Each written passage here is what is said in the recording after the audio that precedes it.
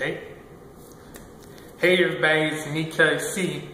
Now this is the movie that I don't want to trust about this movie called Captain America the First Avengers.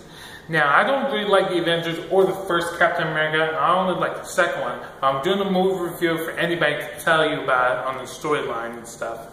But this is kind of like, it's not the best movie for me to see because I already watched it when I got it from the library months ago and it was really, really not good because of my, I know some of the action parts, I know some of the stunts part, what Chris Evans doing, but I like number two, the the Captain America 2, the Winter Soldier, and it's really great. So I'm gonna do the movie review soon about that, maybe tomorrow, or whatever.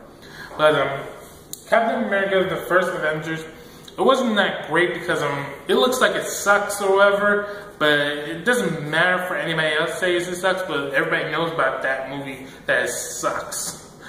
But now, um, too much information that I don't want them to put this trailer on YouTube because um, I don't want to show you all because I don't like this movie suck.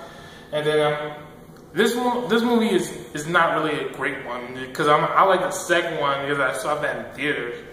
And um, well, I'll tell you, I'll tell you most about it. When um, when he was so short in the skin, he didn't he didn't have no no fighting thing or whatever with strong muscle ever. But it was really like he's not really a strong Captain America yet. But when he was really short in the beginning, that was not good. He was hitting the bully and stuff. He got bullied for a fight or whatever. Too much. But that was